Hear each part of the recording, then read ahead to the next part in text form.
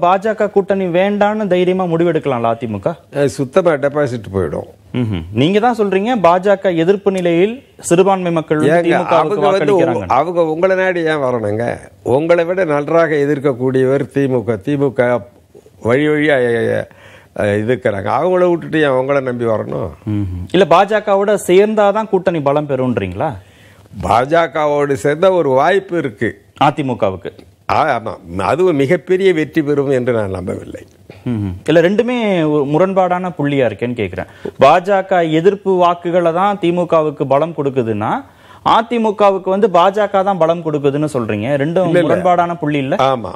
பாஜகவுக்கு எதிர்க்கின்றவர்கள் அங்க போயிடுறாங்க. பாஜகவை ஆதரிக்கிறவங்க ஒரு செட்டு இருக்காங்க. அது நம்ம சேர்ந்தோம்னா அவங்களும் இருப்பாங்க. சதவீத அளவில் அது குறைவு இல்ல. பாஜகவுக்கான ஆதரவு மூன்று சதவீத பேர் தானே இருக்காங்க. ஆதரவு சதவீதம் எல்லாம் சொல்ல முடியாது. இருக்கிற சூழ்நிலையில் திமுகவினுடைய கூட்டணி அவங்க பலமான கூட்டணி அதில் ஒன்று நீங்கள் குறைத்து மதிப்பிடக்கூடாது.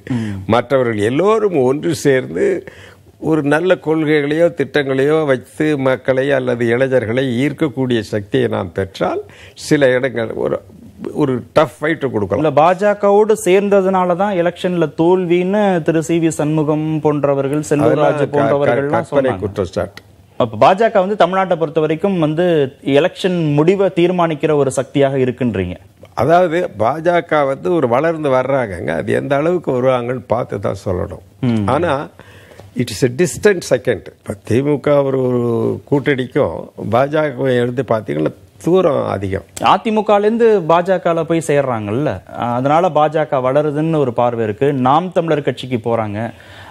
அதிமுகவுடைய பலவீனம் மற்ற கட்சிகளை இங்க தமிழ்நாட்டுல வளர்க்குது ஒரு கட்சியிலேருந்து இன்னொரு கட்சிக்கு இப்போ போய் இணையறதுனாலேயே பெரிய பலம் வர்றதில்ல.